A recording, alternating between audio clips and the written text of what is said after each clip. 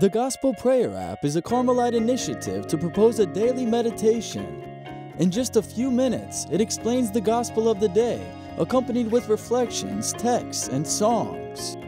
La aplicación Evangelio Orado es una The application Gospel Prayer is a prayer initiative in the light of the mystics of the Carmel.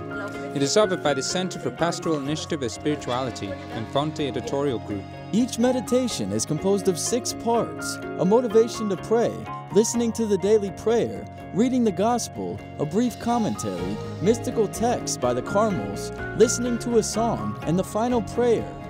The platform seeks to help people speak with God by allowing them to carry the gospel on their mobile or tablet. El objetivo es que eh, se lleve la palabra The goal is to carry the Word of God in your pocket. You can have a prayer meeting in any situation, place, or wherever you want.